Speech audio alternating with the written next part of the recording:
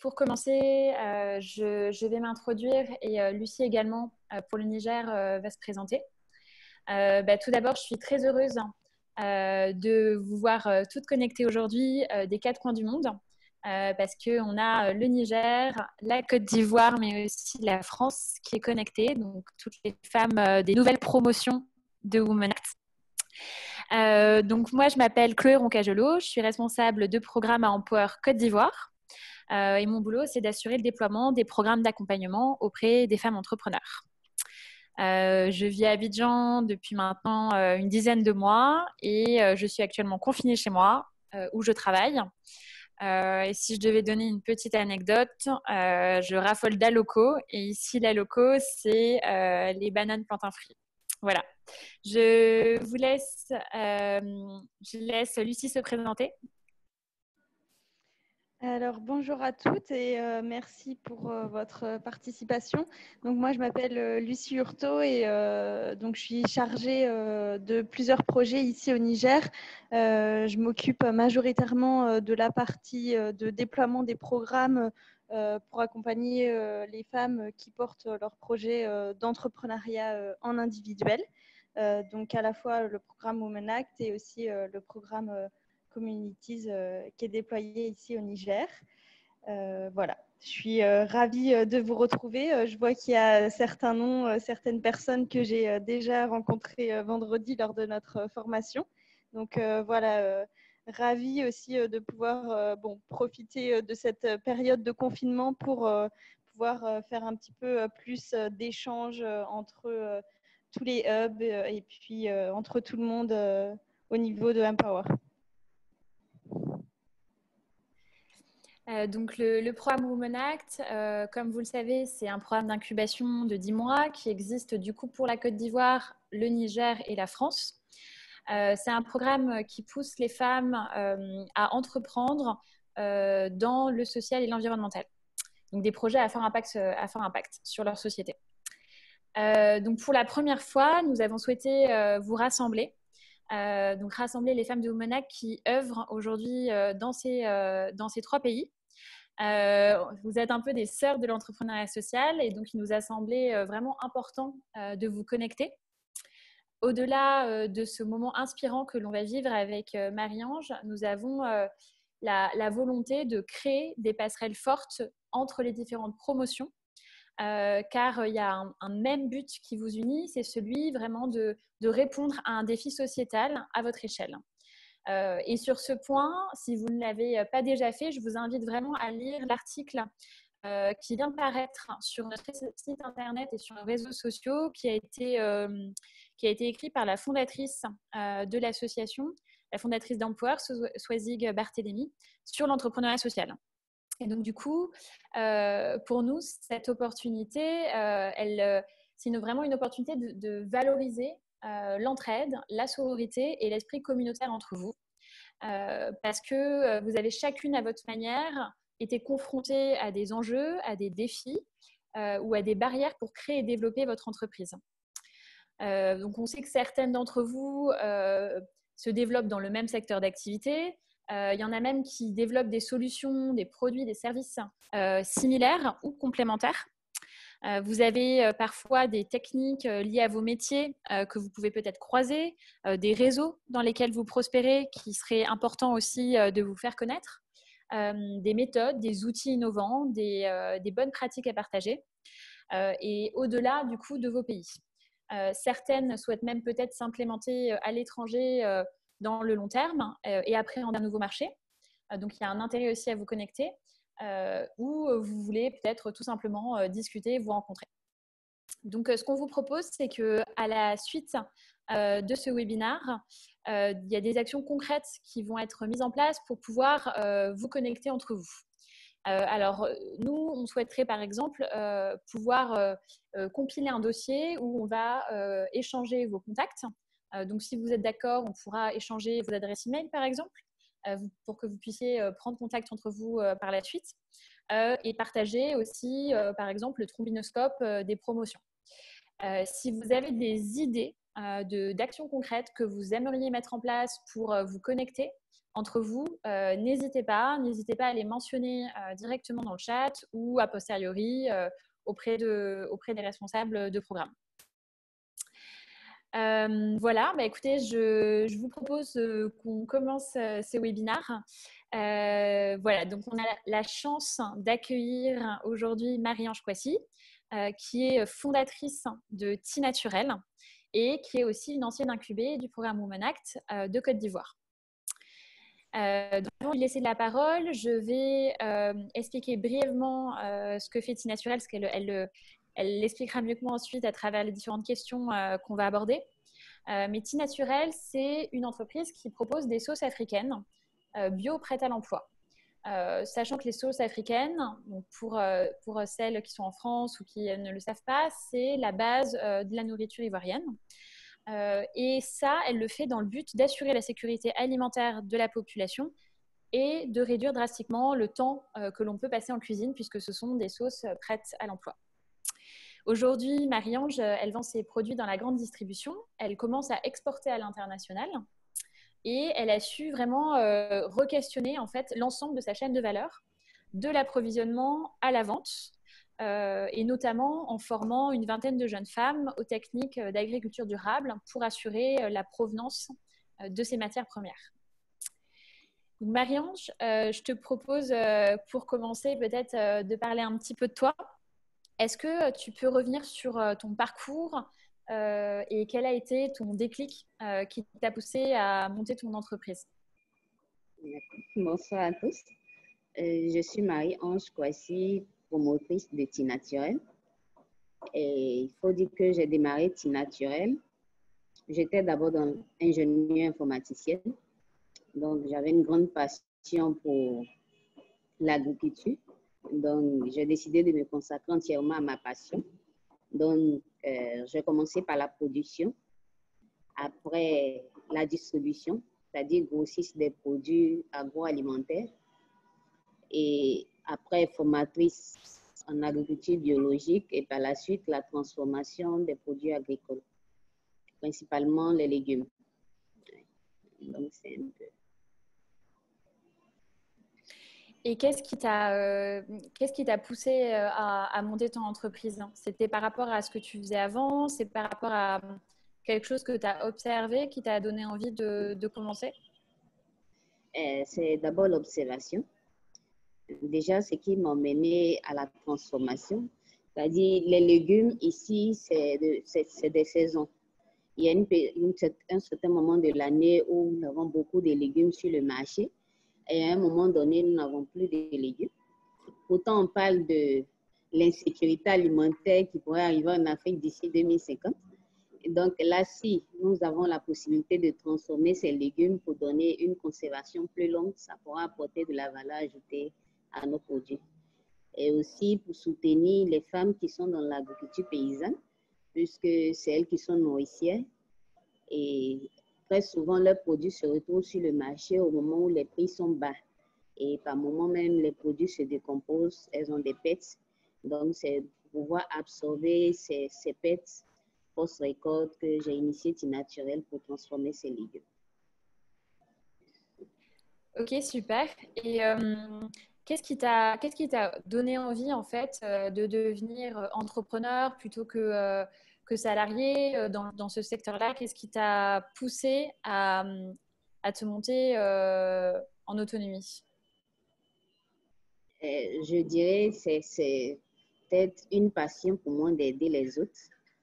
J'aime aider et je me dis étant salarié peut-être que je pourrais pas répondre à, à un grand besoin c'est-à-dire pour moi créer une entreprise qui va pouvoir aider ceux qui sont dans la production, les clients, c'est ça ma hmm. vision en fait.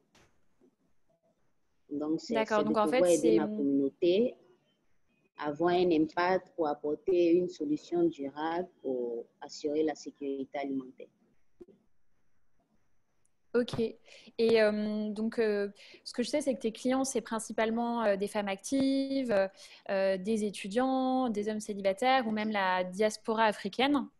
Au, tout début, au tout début, comment tu as identifié les besoins de tes clients quelle méthode tu as pu utiliser pour recueillir des informations sur tes clients, pour savoir en fait comment, comment développer tes produits D'abord, quand je distribuais les, les produits frais ou les produits même déshydratés, je les proposais aussi aux femmes qui sont en activité dans les bureaux.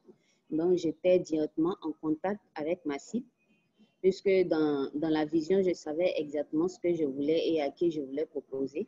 Donc, j'ai commencé dans un premier temps à présenter les produits que les femmes même transformaient au village, c'est-à-dire le manioc pour faire la tiké, le placali, et le gombo déshydraté, le djumblé pour ceux qui sont ivoiriens. Donc, euh, c'est ce produit-là que je présentais aux femmes qui sont dans les bureaux. Et j'avais la possibilité d'échanger directement avec ma cible. Donc, c'est dans les échanges, avec l'observation, vu vraiment le besoin qu'avaient ces femmes. Une fois qu'ils étaient au travail, venir faire à manger. C'était pas évident de faire les plats africains, puisque les plats africains, ça demande beaucoup de temps en cuisine. Donc, j'ai réfléchi. Il fallait apporter une solution pour pouvoir faire les plats africains en passant moins de temps à la cuisine. Et aussi avec la formation que j'ai eue au niveau d'Empower pour le programme Women Acts, c'est-à-dire nous avons eu à faire des formations sur l'étude de marché. Donc, c'est tous ces éléments que j'ai pu exploiter pour pouvoir véritablement toucher ma cible. Ok. Et euh, par rapport à ce que tu as identifié, euh, par rapport justement à, euh, ce que tu dis sur le fait que on passe beaucoup trop de temps en cuisine, que c'est très chronophage, comment T-Naturel répond à ce défi-là, donc qui est à la fois d'assurer une sécurité alimentaire avec des produits de qualité, et de réduire le temps passé en cuisine. Et je pense que là, ce serait peut-être intéressant que, que tu expliques un petit peu plus ce que fait T-Naturel et comment vous le faites. D'accord. Au niveau de naturel, nous n'avons pas de nous résumer à prendre les produits sur le marché où on ne connaît pas vraiment la provenance. Donc, il fallait assurer dans un premier temps la traçabilité. Donc, comme vous l'avez dit tantôt, j'ai eu à former 20 jeunes filles qui sont dans la production des produits agricoles sur les bonnes pratiques de culture pour une agriculture durable. Et c'est à la suite que je récupère ces produits pour pouvoir transformer sans ajout chimique. Et comme il s'agit de l'agroalimentaire, c'est un, domaine qui est vraiment sensible. Donc, il faut faire tester les produits, analyser pour pouvoir vraiment mm. apporter des, des, produits sains. Parce qu'après, il ne faut pas venir intoxiquer les gens. Donc, nous tenons compte de tous ces éléments. Les produits sont analysés, faisant des tests de vieillissement avant de mettre sur le marché c'est un peu la suite de T naturel. Hmm. C'est-à-dire, dans un premier temps, les femmes sont formées et après, on récupère les produits pour transformer avant de mettre sur le marché.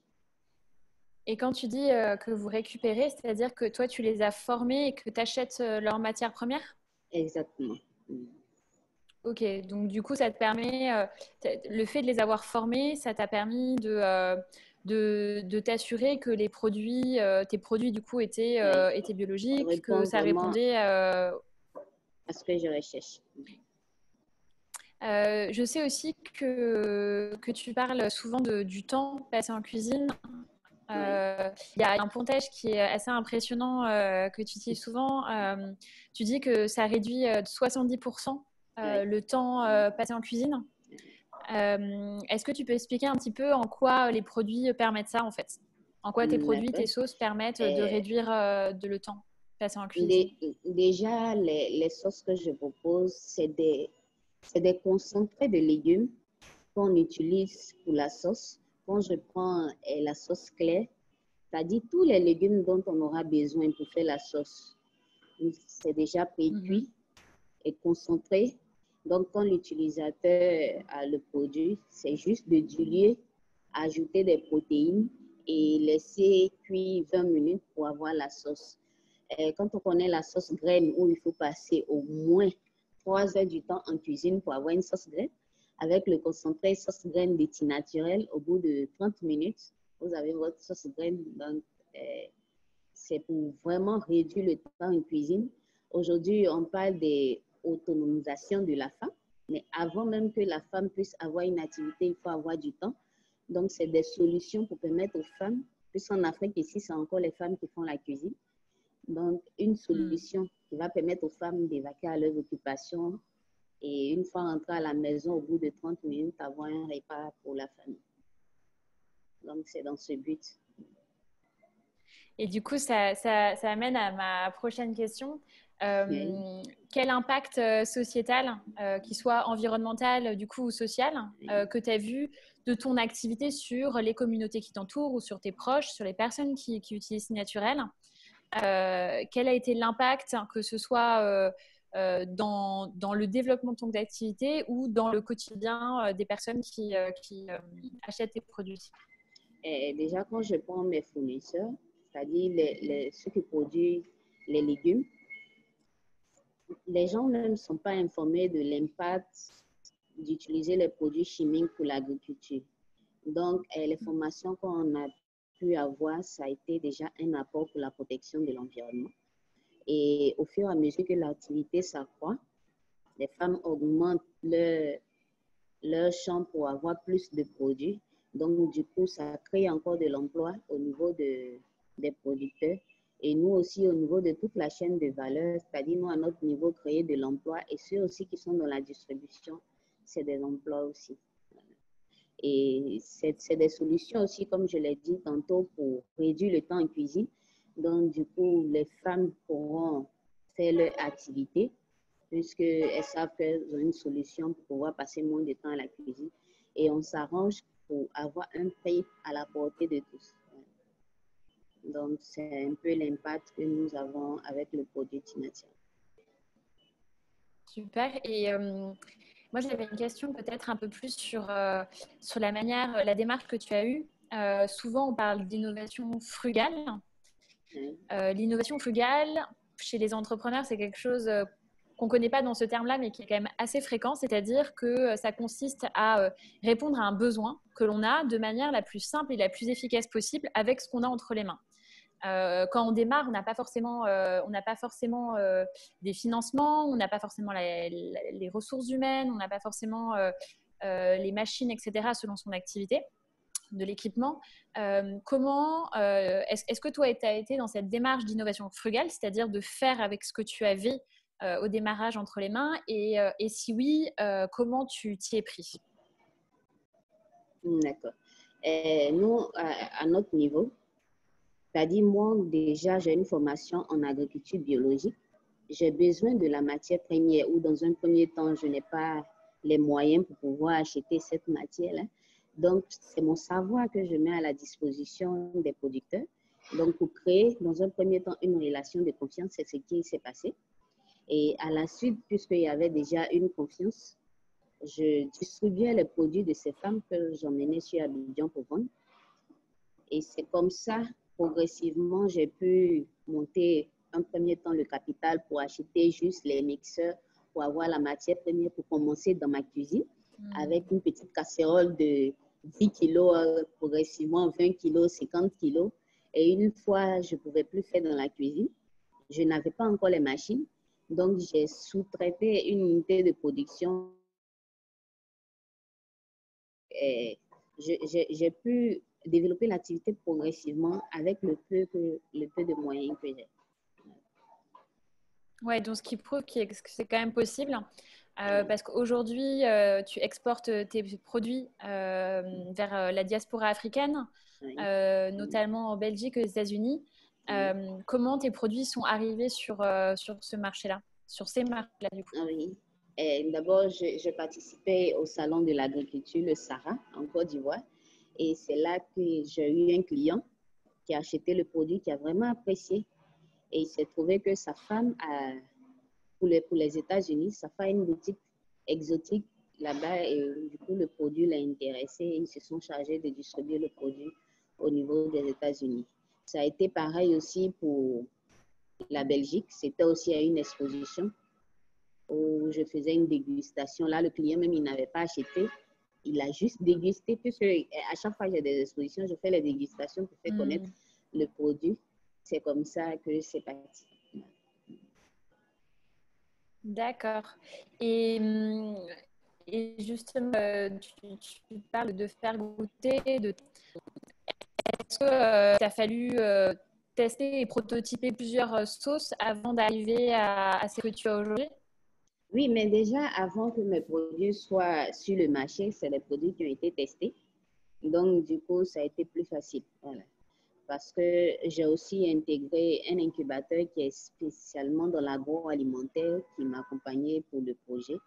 Donc là, il y a vraiment un suivi pour pouvoir stabiliser mhm. le produit dans un premier temps et voilà, c'est comme ça, c'est parti. Pour le moment, ce n'est pas encore dans la grande distribution en Europe. C'est des boutiques spécialisées, c'est-à-dire des des personnes qui ont des, des shops qui vendent des produits africains, c'est eux qui distribuent. Donc, on espère quand même rentrer dans la réglementation européenne pour que ce soit dans la grande distribution au niveau des okay. Euh, et par rapport, euh, tu, tu, parlais de formation technique que tu as eue sur euh, la partie plutôt agriculture. pour faire un peu le lien aussi avec Women Act, quelles ont été les raisons qui t'ont amené à, suivre ce programme? Bon, déjà, je suis entrepreneur.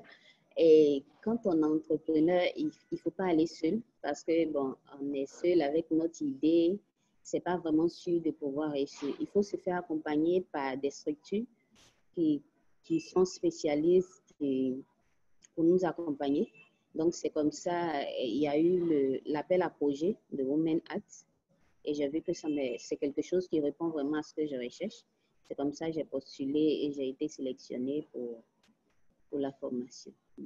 Parce que j'avais vraiment euh, besoin d'être formée. Donc, tu avais, avais, besoin de formation plutôt euh, par rapport à, de la connexion à du réseau, à, à des bases d'entrepreneuriat? Oui, des bases d'entrepreneuriat. Et puis, euh, déjà, même comment rédiger un business plan, c'est des choses que je ne savais pas. Donc, c'est lors de la formation, comment rédiger même un projet. C'est-à-dire, au départ, on a l'idée de projet en tête, mais on ne sait pas vraiment comment rédiger le projet. Donc, il fallait vraiment faire une formation pour pouvoir rédiger le projet. Il y a eu pas mal de formations aussi, comme je le disais tantôt, au niveau de l'étude de marché, euh, comment hmm. coacher son personnel. Ça, c'est des informations qui sont importantes pour moi. Et comment gérer même l'entreprise, tout ça. Euh, c'est ce qui m'a beaucoup intéressé. Ok, c'est très clair, merci. Euh, je voulais faire le lien aussi avec la situation actuelle. Euh, donc, euh, pour euh, beaucoup de gouvernements, et notamment le gouvernement ivoirien, a pris des mesures sanitaires pour freiner la diffusion du virus. donc, en Côte d'Ivoire, c'est le respect de gestes barrières, l'interdiction de rassemblement de plus de 50 personnes, mais aussi la fermeture de commerces autres qu'alimentaires, couvre-feu, interdiction de se déplacer en région. donc, forcément, ça a un impact. Euh, donc, euh, nous, euh, Empower, face à cette situation de crise, on a pris également des dispositions à l'échelle des activités que nous menons pour limiter les risques de transmission, mais aussi pour assurer la sécurité de notre équipe et des femmes qu'on accompagne quotidiennement. Et donc, toutes les équipes d'Empower, que ce soit au Niger, en Côte d'Ivoire ou en France, sont activement engagées dans cette lutte. Euh, donc, on apporte notre soutien aux femmes entrepreneurs euh, dans un moment qu'on juge euh, primordial parce que le secteur de l'entrepreneuriat sera massivement impacté. et justement, pour faire le lien avec ça, je voulais savoir de ton côté, Marie-Ange, quelle est, quelle est l'influence positive ou négative de la crise sur ton activité actuellement et peut-être en, deuxième question, qu'est-ce que tu as pu mettre en place déjà pour y répondre? D'accord. déjà, à mon niveau, il y a eu deux points de vente qui ont fermé, puisqu'au départ, c'est des dépôts ventes et les distributeurs. Donc, c'était difficile. Et il ne fallait pas rester là, puisque nous sommes entrepreneurs, il faut à chaque fois trouver la solution. C'est comme ça que je suis passée au digital. Donc, j'ai commencé par faire la vente en ligne, proposer les produits en ligne. Et ça, c'est quelque chose que je n'avais pas vu au départ de mon activité, mais je vois que c'est quand même intéressant à exploiter, puisque là, j'ai eu mon chiffre d'affaires qui, qui, a augmenté, rien que par la communication sur Facebook. Je n'ai même pas encore exploité les autres réseaux. Donc, je vois que c'est quand même des éléments à exploiter pour nos activités aussi. C'est vraiment intéressant. Puis j'imagine que quand, alors tout le monde n'est pas en confinement, mais il y a quand même personnes qui, qui se confinent aussi d'hiver. Est-ce que ça a eu un impact, par exemple, sur, sur l'achat de, de, tes produits? Oui, déjà là, j'ai un souci parce que ma zone de production n'est pas à Abidjan. Présentement, ceux, qui résident à Abidjan ne peuvent pas aller à l'intérieur. Donc, du coup, si je n'ai plus de produits, on ne sait pas quand, combien de temps la crise va, va durer. Je ne pourrai plus aller produire. Voilà, ça, ça sera un peu compliqué pour pouvoir approvisionner les. Parce que. Euh, Pardon, parce que là, en fait, euh, tu as, écoulé pas mal de stocks euh, par rapport au fait qu'il y a des gens qui, euh, qui en confinement, voulaient, vu que c'est des sauces prêtes à l'emploi, c'était vrai que par rapport à la situation, ça s'y prête plutôt bien. et donc, du coup, tu, tu, me parlais aussi d'un problème vis-à-vis du packaging, par exemple. Comment, tu, comment tu comptes faire pour réussir à, répondre à ce problème? Est-ce que tu as déjà un petit peu réfléchi pour te visionner en packaging, par exemple? Oui, euh, je suis toujours dans la réflexion. Euh, le packaging est vraiment un souci pour nous, puisqu'ici, il n'y a pas de soufflerie bouteille. Mes emballages, ce sont des bouteilles, donc je suis obligée de faire venir de l'extérieur.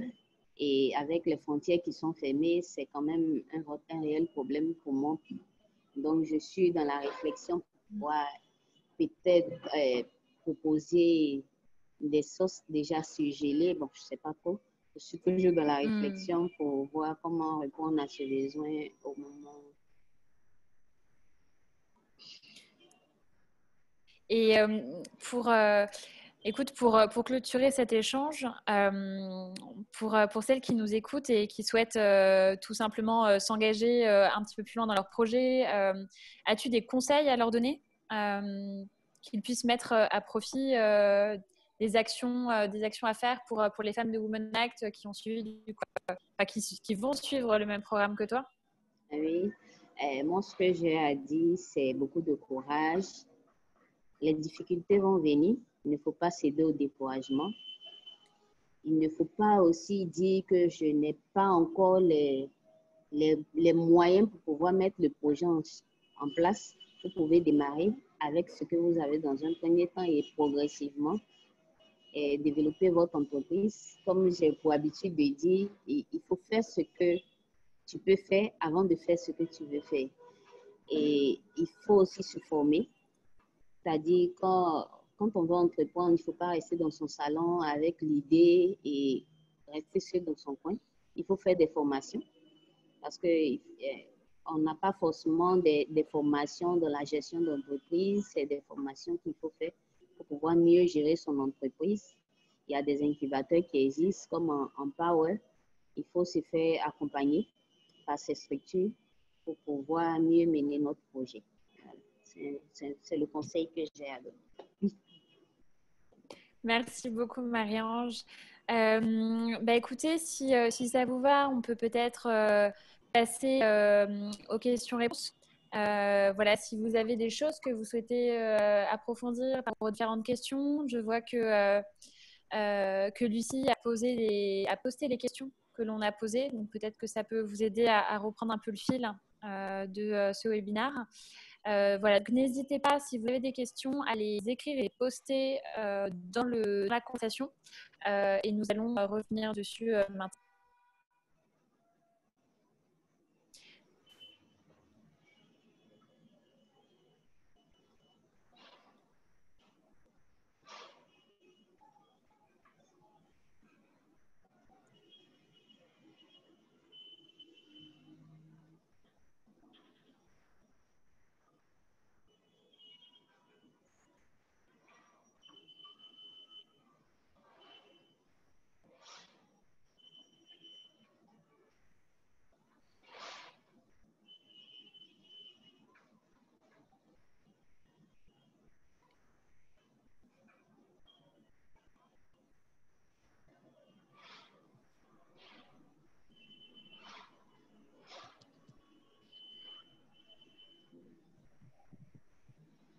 Lucie, est-ce que, euh, est que tu as pu récupérer certaines questions ou pas vraiment?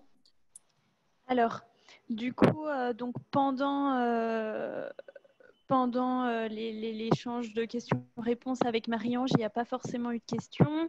Là, actuellement, on a Rachel qui nous dit bonjour et qui nous remercie. il y a aussi Angela qui, qui nous salue et qui, qui remercie Marie-Ange pour le témoignage. Qui, qui donne aussi ses félicitations. Et elle pose une question, elle, elle, elle, a une question particulièrement en ce qui concerne les points de vente. Elle, euh, elle demande combien est-ce que Marie-Ange a de points de vente actuellement? Eh, d'accord. Donc, au niveau de la Côte d'Ivoire, nous avons cinq points de vente et à l'international, deux points de vente. Il y a des marchés qui sont qui en train d'être conclus et la crise est arrivée. Donc, eh, juste après la crise, on aura encore plus de points de vente. D'accord. Euh, et euh, alors, du coup, Rachel, elle, euh, nous prévient qu'elle s'est connectée un petit peu en retard et qu'elle a, raté le début de la session. elle, voulait, elle voulait avoir une petite présentation en fait sur T-Naturel et puis j'imagine la nature du produit. En fait, elle ne sait pas ce que tu vends, Marie-Ange. Mm, d'accord. Donc, T-Naturel est une entreprise agroalimentaire qui est spécialisée dans la transformation des légumes nous proposons des concentrés de sauce africaine en purée et en déshydraté. Donc, présentement, nous avons le concentré pour la sauce claire, la sauce tomate, la sauce graine, la sauce gnognon et en sauce déshydratée, la sauce guaguassou et la sauce namuku. C'est des sauces africaines qu'on essaie de valoriser. Ça, ça fait partie de, de ma vision faire la promotion de la culture africaine par présenter les mets africains et aussi montrer l'origine de ces sauces. Voilà. D'accord. Ok. Euh, alors, il y a aussi Pélagie qui, donc, évidemment, félicite Marie-Ange et euh, qui est également euh, intéressée pour avoir le lien de la page Facebook. Donc, voilà, soit Chloé, tu as accès et tu peux le mettre dans la conversation ou sinon, éventuellement, on, le partagera sur le Slack un petit peu plus tard. alors là, je ne vois pas qui a posé la question, mais quelqu'un demande euh, comment est-ce que, euh, Marie-Ange, tu as fait euh, pour financer les tests qui sont exigés pour pouvoir vendre les produits en conformité avec la réglementation en agroalimentaire? Oui. Comme je le disais au, départ, j'ai commencé par présenter des, produits qui ne nécessitaient pas vraiment de tests, comme la ticket, et le placali que je proposais directement aux clients. Donc, c'est progressivement que j'ai pu monter euh, les, fonds pour pouvoir faire ces différentes analyses. Et comme je l'ai dit, je suis accompagnée par un incubateur dans l'agroalimentaire. Donc, il y a des, il y a des analyses, euh, euh, je dirais, qu'on fait dans un premier temps au niveau de, de l'incubateur. C'est-à-dire, par exemple, connaître le pH pour voir si le produit tient les les tests de vieillissement. Ça, c'est des, analyses qu'on a pu faire là-bas. Et c'est avec ça que j'ai pu intégrer les premiers sites pour pouvoir distribuer. Et c'est comme ça, progressivement, j'ai pu faire les autres analyses. D'accord. OK. Euh, il y a euh, aussi euh, Serge, du coup, donc, qui te remercie pour la présentation et qui aimerait que tu reviennes un petit peu sur les femmes que tu as formées. Donc, combien est-ce que de femmes tu as formées en région et quelle, quelle, a été l'importance pour toi dans la chaîne de valeur?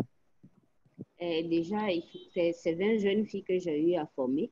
Et il y a eu par la suite cinq hommes qui sont dans la production de tomates, puisque dans ma région, les femmes, c'est plutôt la production de gombo, aubergines, piments. Mais la tomate, c'est les hommes qui sont plus dans la tomate. Et comme j'utilise la tomate comme matière première, donc j'ai eu aussi à former les hommes qui sont dans la tomate. J'ai eu à former cinq hommes qui sont dans la production de tomates. Hmm. Ok.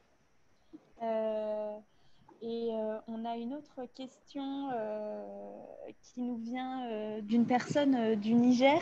Elle, donc, elle dit, donc déjà, elle dit félicitations et puis elle, dit que donc, tu dis avoir commencé toi dans ta cuisine.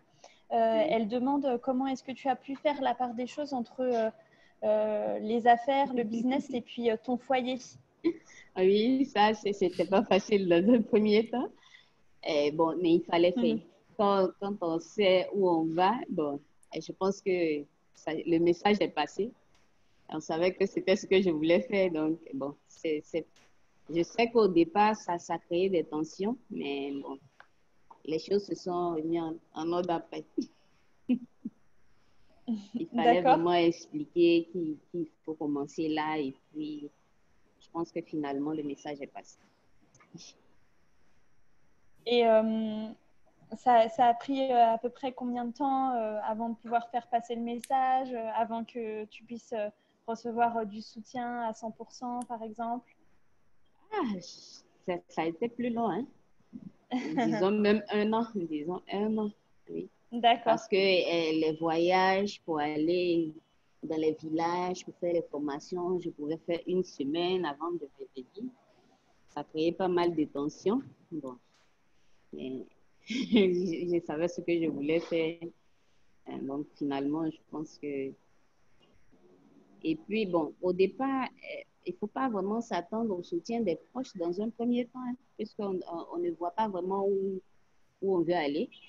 Je suis ingénieure informaticienne à la base, j'ai travaillé et du coup, je décide de ne plus travailler pour me lancer dans l'aventure de l'entrepreneuriat où on sait qu'au départ, il n'y a il n'y a pas de gain c'était pas vraiment facile à convaincre les proches, que ce soit au niveau de mes parents, mon compagnon, c'était pas facile. Mais quand on sait ce qu'on veut, on a notre objectif à atteindre, il faut foncer. D'accord. Et euh, alors, il y a quelqu'un qui nous pose une question euh, plus euh, par rapport à, à l'approche commerciale. et l'approche, j'imagine, des clients et la façon dont tu tu as pu atteindre le secteur de la grande distribution. On te demande si tu es assez social de nature, euh, si tu as quelques conseils pour celles qui sont plus timides et qui n'osent pas euh, forcément aller faire du démarchage. Euh, voilà. Marie-Ange est de nature très timide. ne pensez pas que bon, c'est quelque chose de facile. Mais curieusement, quand j'approche les gens pour présenter mes produits, ça intéresse. Donc, j'ai commencé même par me promener dans les bureaux. Il y a des bureaux, dès que j'ouvre la porte, on me chasse. Mais je, continuais. Et progressivement, les premières personnes qui ont utilisé dans les bureaux, c'est ces personnes même qui se sont chargées de faire la promotion. Et c'est comme ça, c'est parti. D'accord. Et, euh, et, du coup, justement, euh, on a Yolande aussi qui, euh, qui voudrait savoir combien de temps ça t'a pris avant de mettre en place ton projet Et Combien de temps? Euh, Je dirais deux ans. Deux ans. D'accord. C'est-à-dire, euh, quand tu parles de deux ans... Euh, et deux ans déjà, la formation des producteurs et juste deux ans pour pouvoir atteindre la, distribution au niveau des points de vente. D'accord. Parce qu'il eh, il y, a des activités que je faisais au même moment. C'est-à-dire, pendant que je formais les producteurs, je faisais aussi la distribution des produits comme le placali, la tiéké que je proposais aux clients avant que les, les sauces soient sur le marché. Donc, eh, il n'y a pas eu de pont, c'est des activités, je fais, il y a des activités que je faisais au même moment. Mm-hmm. Ok. Euh, alors, on a eu pas mal de questions. Euh, il y en a que j'ai. Euh, alors, il y avait quelqu'un qui posait aussi euh, une question plus par rapport à l'accompagnement Women Act. le moment où ça t'a été le plus utile. Est-ce que. Alors, j'arrive pas à retrouver. Elle demandait est-ce que c'était lors de la conception ou est-ce que c'était lors de la réalisation? Que l'accompagnement Women Act t'a été le plus utile C'était lors de la conception. D'accord. de la conception. Je dirais une partie dans la conception et une partie dans la réalisation. Mhm. Mhm. Parce que, bon, la, conception même s'est fait pendant que, je ne sais, pas, je sais pas comment expliquer. C'est-à-dire, eh, je savais exactement ce que je voulais faire dans un premier temps. Je savais que, que je voulais transformer les produits agricoles. Donc, au départ, c'était des produits que les femmes transformaient déjà, que je faisais. Bon, je pense que c'est à cette étape, au moment où je proposais le gombo déshydraté, le piment déshydraté directement. Ça doit, être à cette période. D'accord. Euh, alors là, on a une question un petit peu plus technique. Euh, j'imagine que c'est des choses que vous pourriez aborder euh, en échangeant vos contacts, mais il y a quelqu'un qui serait intéressé pour savoir, pour connaître tes sources d'approvisionnement pour les matières premières. donc j'imagine que toi, ça s'est passé aussi par le fait que tu as formé les agricultrices, etc. Voilà, c'est quelqu'un qui nous vient du Niger qui pose ça. Et euh, sinon, peut-être une dernière question, euh, parce qu'on va arriver euh, à la fin du temps qu'on s'était accordé pour, pour cette session. c'est que, a priori, tu as dit que tu as cessé de, travailler à un moment donné pour pouvoir te consacrer à 100% sur ton affaire. Et on te demande à quel moment tu as senti la nécessité d'arrêter de travailler. Est-ce que c'était au stade du projet, de lancement ou vraiment une fois que euh, ton projet euh, a fait ses preuves bon, Ça a été après que j'ai terminé un contrat. Donc, au lieu de, chercher un autre contrat, je me suis concentrée sur le projet qui me tenait à cœur. Je disais, bon, c'est le moment de démarrer. Et une fois suis, j'ai commencé, je ne me suis plus arrêtée. C'est-à-dire, après, je n'ai pas cherché autre, mais j'ai préféré me consacrer entièrement au projet. D'accord. Ok. Euh, bon, en tout cas, tu as reçu beaucoup, beaucoup de félicitations euh, dans les commentaires. Euh, il y a même quelqu'un qui est, qui est, allé consulter ta page Facebook et qui, qui, vient de voir tes produits, donc qui te dit un grand bravo. Merci. voilà. Mm, bon, je pense qu'on a fait à peu près euh, le tour des questions. Il y avait Serge aussi qui a demandé à un moment donné euh, euh, est-ce que tu as senti un, changement dans le regard de la société sur toi, donc par rapport à avant, des encouragements, etc. Ah oui, beaucoup, beaucoup d'encouragements, mais au départ, ce n'était pas les encouragements, c'était bon, on ne sait pas dans quel sens on ne sait pas ce qu'elle est en train de faire. C'est vraiment un gros risque de, se lancer dans une activité pareille. Elle a des diplômes, pourquoi pas chercher du travail. je pense que c'est à force de travailler qu'on arrive à voir le résultat. Je pense qu'avec les résultats, ça justifie. je n'ai pas voulu perdre le temps à vouloir vraiment justifier, donner l'importance de pouvoir faire ça mais dit il faut se concentrer sur le travail et les résultats vont parler. Mhm. Et est-ce que maintenant tu vois, euh, euh, maintenant que ton, ton, affaire est assez florissante et que c'est un succès, est-ce que tu vois une différence quand même ou est-ce que, euh, tu as fait toujours face aux mêmes barrières ou beaucoup moins Beaucoup moins. Au niveau de ma mère, ce c'était pas vraiment facile. C'est quelque chose même qui a mis vraiment du temps pour qu'elle puisse accepter. Et aujourd'hui, je peux dire qu'elle fait partie de ceux qui proposent mes produits. Donc, je me dis quand même, il y a eu un changement. D'accord. du coup, euh, donc, euh, on, retiendra aussi de tout ça euh, qu'il faut beaucoup de patience et de, et de persévérance, de persévérance, c'est tout. Mhm. Ok. eh bien, en tout cas, il n'y a plus trop de questions qui arrivent. Euh, et ça tombe bien puisqu'on arrive euh, à la fin de, notre session. Euh, toutes mes félicitations et j'imagine les félicitations de tout le monde. On l'a vu un petit peu dans les commentaires. je ne sais pas, Chloé, comment. moi, je vois qu'il y, y, a des femmes du Niger qui, qui, ont été très intéressées par l'échange avec Marie-Ange. oui comment est-ce qu'on peut, comment est-ce qu'on envisage la suite Ouais. Bah, comme je l'expliquais euh, en, début, en début de séance, l'importance de ce moment aussi, vu que c'est des femmes Women Act qui sont connectées, c'est ben, d'arriver à créer du lien. donc, on proposait plusieurs choses. la première, c'est un dossier qui, qui compile tous vos contacts qu'on va pouvoir vous envoyer. Avec le nom de chacune d'entre vous, si vous êtes d'accord, votre idée de projet, le secteur d'activité dans lequel vous êtes euh, et ce qui va permettre de déconnexion. Euh, donc ça, c'est la première chose.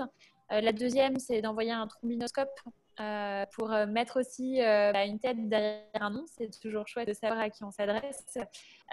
et évidemment, si vous avez des idées partager de choses que vous aimeriez mettre en place entre les différentes promotions de Women Act. Et je parle de promotions sur l'année 2020, mais aussi avec les anciennes, parce qu'on commence à avoir plusieurs promotions maintenant, notamment en France, où il y a pas de promo. Alumni, pour la Corée Niger, c'est vraiment cette volonté de la part d'envoi de, de, créer lien entre les femmes, parce que la sororité, l'entraide, l'inspiration, c'est une des sources euh, fondamentale qui permet aussi de vous projeter euh, quand on sait euh, que c'est possible. Ça, ça, nous aide aussi à se donner les ailes de le faire soi-même. donc nous, on va mettre en place ces choses-là. Si vous avez des idées a posteriori, si vous avez d'autres questions, n'hésitez pas à vous référer soit à Lucie, soit à moi. et pour la France, du coup, directement à Justine hein, ou à Julie. Euh, voilà, euh, moi je souhaitais encore remercier euh, très chaleureusement Marie-Ange pour, pour son expérience, pour le partage de son parcours. et ce, module-là, cette, session de webinaire, elle s'inscrivait aussi dans, plus largement dans le programme Women Act, dans une partie d'entrepreneuriat social, donc d'introduction à la sociale. comme je le disais au début, on vous a envoyé un article euh, et là, c'était vraiment euh, l'opportunité de montrer euh, comment c'est applicable, comment vous pouvez répondre aux problèmes sociétals. Qu'est-ce que vous allez apporter Comment vous pouvez le faire pas à pas Parce qu'on n'a pas forcément toutes les clés dès le départ. Du coup, Marie-Ange a très bien illustré ça. voilà, donc il y a toujours des manières de penser à côté, comme on dit out of the box, d'essayer voilà, de trouver comment on peut faire ça avec ce qu'on a. Euh, et ça, on continuera à l'aborder au fur et à mesure. Et puis, euh, je pense que ce qu'elle a soulevé, qui était très important aussi, c'est euh, cette partie structuration de votre idée. En intégrant bah, vos clients, qu'est-ce qu'ils ont envie, comprendre votre marché. Là, c'est des choses qu'on va aborder dans les, dans les prochaines semaines. en tout cas, je suis très heureuse que les femmes du Niger, de la Côte d'Ivoire et de la France aient pu se connecter. donc, merci à vous tous. Merci à Marie-Ange. Euh, merci Di pour avoir co-animé. Euh, et euh, voilà, écoute, je ne sais pas si Lucie, tu as un mot à rajouter ou Marie-Ange, mais en tout cas, de mon côté, je vous souhaite plein de bonnes choses et, à très vite. À très vite. Merci Chloé pour l'animation de la séance. merci Marie-Ange pour toutes ces informations. Et puis, ouais, moi, j'ai été ravie qu'on puisse organiser cette rencontre-là un petit peu euh, entre, euh, entre les trois pays. Donc, c'était un plaisir en tout cas pour nous. Et puis, on espère que ce genre d'événement pourra, pourra se reproduire dans d'autres circonstances par la suite.